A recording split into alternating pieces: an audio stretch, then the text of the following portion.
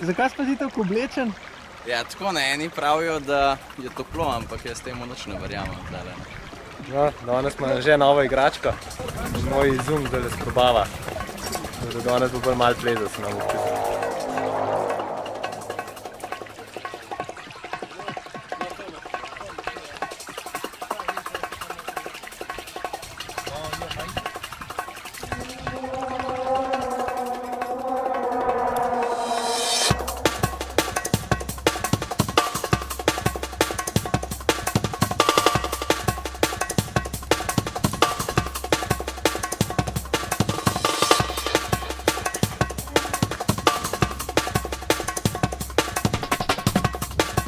Okay, na Poloniko smo se privlekli iz centralne Slovenije po tednu dežja, se zdaj martinčkamo tukaj v stenah.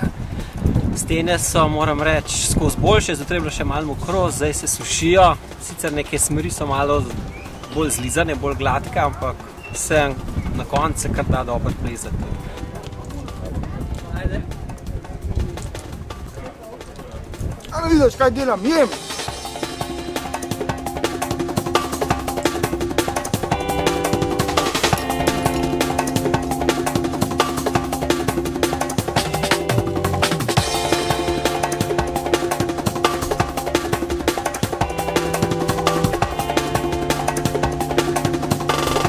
Krasna, krasna, gore fajn klima, spodaj pa že malo mrz.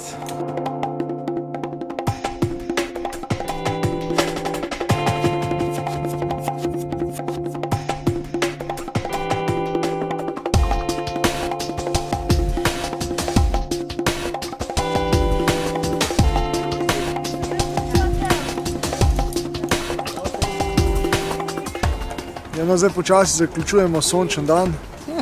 Malo smo se naplezali, malo smo se napogovarjali, pa malo smo okusili morje. Sicer odeleč, ampak dobro. No, zdaj gremo pa počasi v Ljubljano nazaj, v Meglo.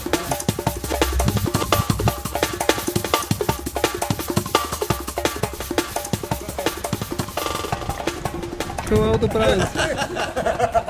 O, kako sem jaz slačen. Spet si jajca. Eno, en jajček bom pojedel. Zdaj še enkrat. Dej. O, kako sem danes slačen, ej. kar en jajc sem naredil. A tako? Ne, ni, ni bilo. Ne, čak. Gremo z jajčki. Kaj nač ne vidle? Enoč ne vidiš?